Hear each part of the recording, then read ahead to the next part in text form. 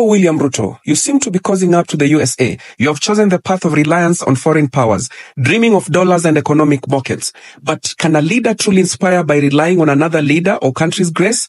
Your way seems as hollow as a chocolate Easter bunny in the sacred land of Kenya, while Ibrahim Traoré's inspiration is shining like a disco ball at a party. Mzee Kenyatta, Moi, and Kibaki are totally not happy with you here in heaven. And vision really take root in borrowed dreams. Maybe I should write a memo to God's governing council to summon you to heaven for a little chat. The only worry is that at that rate you are taking Kenyans, even if you are someone here in heaven, you may not make it here.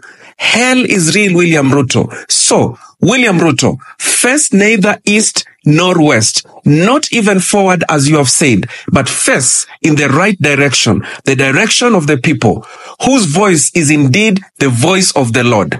Time to shape up or ship out, my friend.